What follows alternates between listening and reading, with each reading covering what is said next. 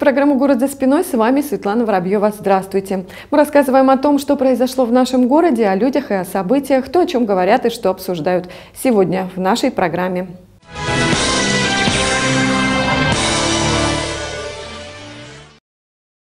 Сегодня рано утром из Петрозаводска торжественно отправился первый регулярный автобусный рейс в Йоинсу. Это совместный проект правительства Карелии и предприятия «Карел Автотранс». Станет ли популярным у пассажиров этот международный рейс, покажет время.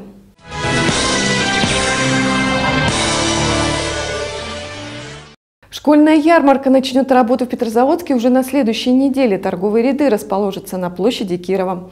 Организаторы обещают, что на ярмарке можно будет купить все для учебы от школьной формы, портфеля до карандаша и тетрадки. На площади будут работать аттракционы, установят бесплатные туалеты, организуют удобную парковку. Ярмарка будет работать до начала нового учебного года. К 1 сентября, кстати, готовятся также и в госавтоинспекции нашего города. Уже сейчас детей в городе становится все больше, они возвращаются с каникул. В связи с этим госавтоинспекция рекомендует родителям напомнить своим чадам правила дорожного движения. Кроме того, не лишним будет вместе со школьными принадлежностями приобрести на одежду ребенка специальные светоотражатели.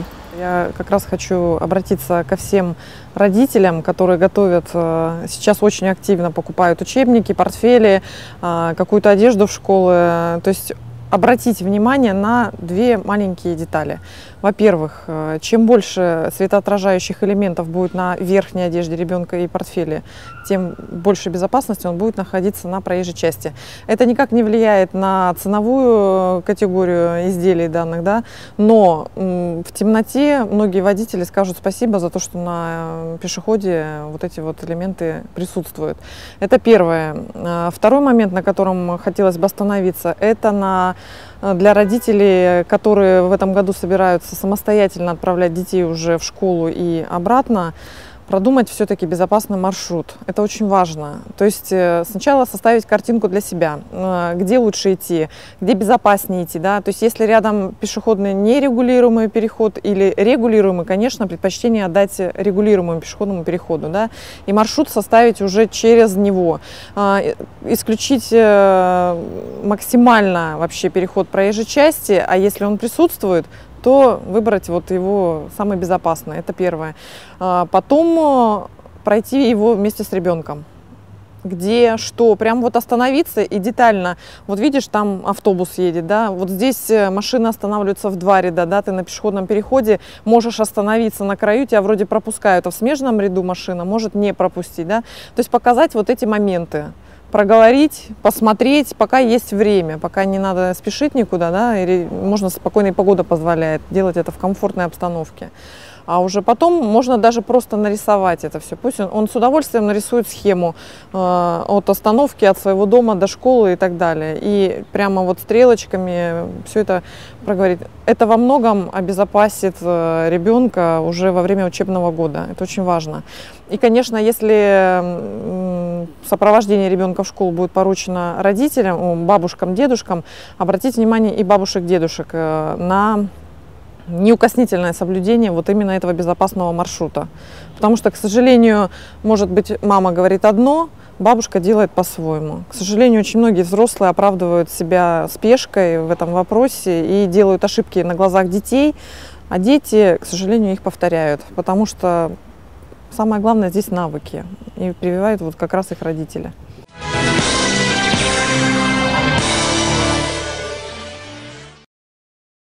Еще что касается 1 сентября, с этого времени штрафы за нарушение правил дорожного движения увеличиваются.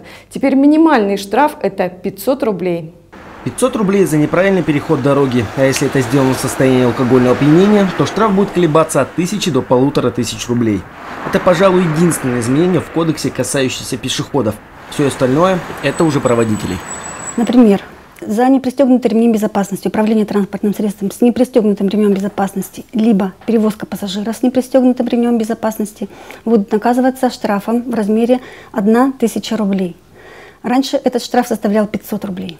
Также коснется изменений и правил перевозки детей. Если раньше за нарушение правил перевозки детей без детского удерживающего устройства наказывалась штрафом в размере 500 рублей. Сейчас это вид наказания будет наказываться административным штрафом в развитии, размере 3000 рублей.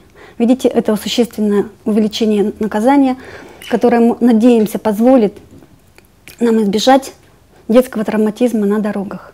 А также поговорить по телефону за рулем обойдется вам в полторы тысячи, за неправильную парковку 500, а если вы сели за руль пьяный, то помимо лишения прав сроком от полутора до двух лет, вам придется еще и штраф заплатить в размере 30 тысяч рублей. А вот покататься за городом со скоростью 130 км в час в Карелии не получится, не нарушая правил, конечно. Дорог у нас нет и неизвестно, когда появится. К сожалению, в нашей республике Карелия таких дорог, которые соответствуют требованиям, предъявляем к автомагистралям, нет. Поэтому в Карелии со скоростью 130 км в час ездить пока нельзя. Зато отменили нулевой промилле. Теперь прибор гаишника должен показать больше 0,16 мг абсолютного этилового спирта на 1 литр выдыхаемого воздуха, чтобы у инспекторов было основание обвинить вас в пьянстве за рулем.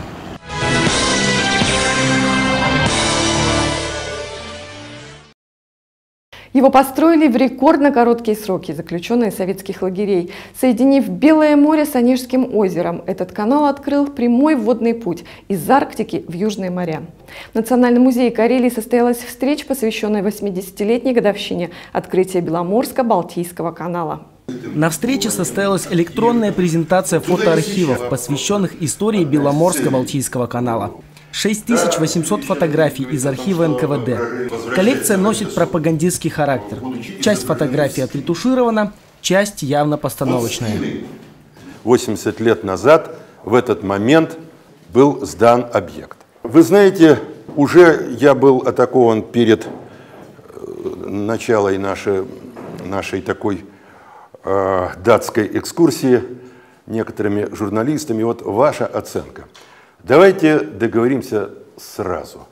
Вот ярлыков сегодня раздавать не будем. Э, сегодня, может быть, э, такие уж мы люди датские, нам нужна дата, чтобы задуматься. История ББК уникальна. Это была одна из самых внушительных строек первой пятилетки и первой в СССР полностью лагерное строительство. Каждый подневольный строитель назывался «заключенный канал армеец», сокращенно ЗК, от чего произошло жаргонное слово «зэк». 227 километров, 19 шлюзов. Все это было построено почти за два года. Ежедневно на работы по каналу выходило более 100 тысяч человек.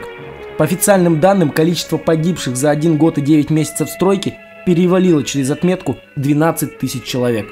Самый главный диагноз Беломорско-Балтийского канала при всем значении канала как транспортного, военного, стратегического объекта, все-таки э, я считаю наиболее болевой точкой нашей истории это полное неуважение к личности. Хроническое неуважение к человеку, к его судьбе. Люди – это материал, э, пусть это будут реформы 90-х, пусть это будут Великая Отечественная война, 30-е годы, 20-е. Вот мне кажется, что вот этот диагноз, он для нас исключительно актуален. Несмотря на то, что весь Беломорско-Балтийский канал проходит по территории Карелии, руководство республики мало интересуется его судьбой. Только в июне в музее была конференция, посвященная ББК. Но никто из республиканских чиновников не обратил на нее внимания. Да и никаких памятных дней не было. Даже в советское время ББК был государством в государстве, и правительство Гюлинга мало интересовалось его судьбой. Сейчас ситуация похожая. ББК находится в ведении федерального центра, и местным чиновникам нет никакого дела до дат и событий 80-летней давности.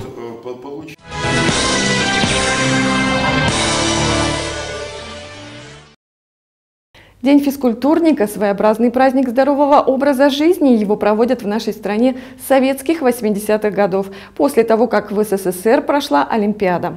На этот раз День физкультурника будет проводиться в эту субботу, 10 августа. Интересные спортивные события запланированы в городах Карелии и, конечно, в Петрозаводске. Планируется провести порядка 100 мероприятий, в которых примут участие 5000 жителей нашей республики. Причем виды спорта разнятся, и каждый желающий найдет себе зрелище по душе. Например, в Костомукше пройдет кубок по бадминтону, турнир по бильярду, а также мини-футбол, шахматы и теннис. В Кондопоге пройдут соревнования по волейболу, футболу и теннису.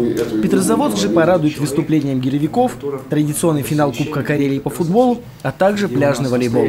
В этом году у нас будет апробация комплекса ГТО, который на сегодняшний день а, разработан Минспортом России э, совместно с Министерством образования России. И в ноябре месяце он будет рассмотрен уже на Госсовете у президента Российской Федерации. Мы подготовили э, золотые и серебряные значки, и всех желающих в этот день физкультурника на стадионе «Спартак» можно будет сдать те нормы ГТО, которые сейчас планируется ввести Российской Федерации следующего года. Также практически во всех районах республики пройдут ставшие уже традиционными массовые соревнования по уличному баскетболу «Оранжевый мяч-2013». Уже, значит, разработана программа соревнований. С 9 утра до 10 будет работать комиссия по допуску участников, разработана форма заявки для участия. Э, соревнования сами непосредственно начнутся в 11 часов утра и продлятся, то есть, ну как пойдут соревнования, ну планируем окончание в районе 16 часов. Вот, с 9 до 10.30 в зависимости от поданных э, заявок будет произведена жеребьевка. Соревнования сами пройдут непосредственно на четырех площадках, на четырех кольцах в губернаторском парке. Победителей ждут памятные медали, грамоты, кубок, а также подарки от спонсоров. Отличием Дня физкультурника этого года стало то, что одним из символов спортивных соревнований станет факел паралимпийского огня под номером 0. Он будет продемонстрирован всем любителям спорта и олимпийского движения. Именно такие факелы будут использоваться для проноса олимпийского огня из сердца Греции в столицу зимних Олимпийских игр Сочи 2014.